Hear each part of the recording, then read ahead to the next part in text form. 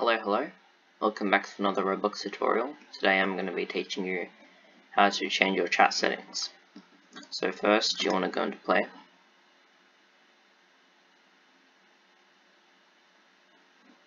And then you want to go to chat and copy in client chat modules.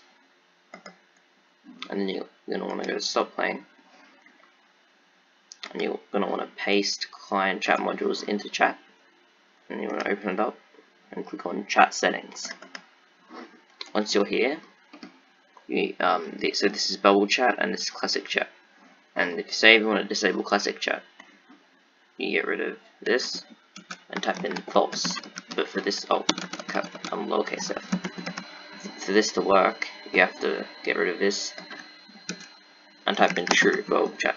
So that means this means bubble chat is enabled and classic chat is disabled. And now we will test this.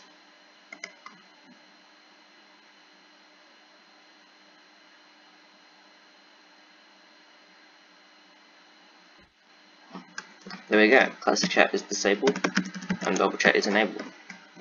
So that's going to wrap it up with this tutorial. If you have any questions about this, just ask in the comments, and I'll see you later.